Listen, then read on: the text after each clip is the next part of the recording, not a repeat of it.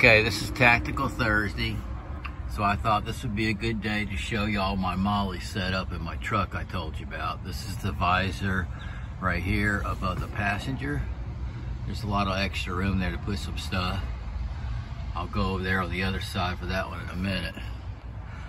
But uh, yeah, I got my toolbox back here, holds all my power tools and stuff. It also has my uh, SOG uh, trenching tool, uh, the shovel, you know, the shovel, the machete, stuff like that. And here, you see how that straps in? This is the back of my passenger seat. If I can go down there. There's a, uh, this is a battery charger.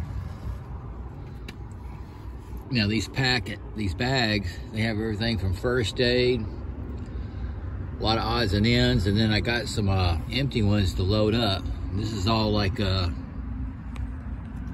you know, if we had to evacuate for hurricanes, etc., uh, I can load these bags up.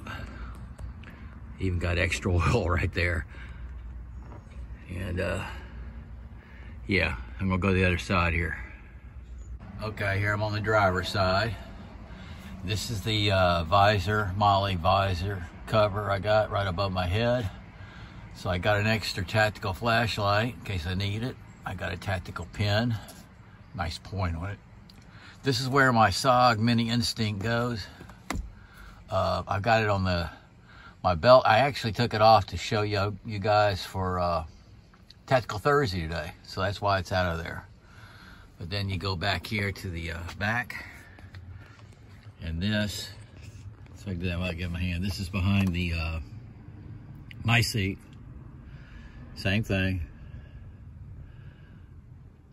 Isn't that cool? This thing just straps on the back of your seat. Look at all the room for stuff. So I can just buy bags, uh, MOLLE, MOLLE bag accessories and load it up if I needed it. But I got pretty well what I need. So, that is my setup I wanted to show you. That's a air pump for, it's a good time to show you on Tactical Thursday. Okay, that's how I roll. Sog out.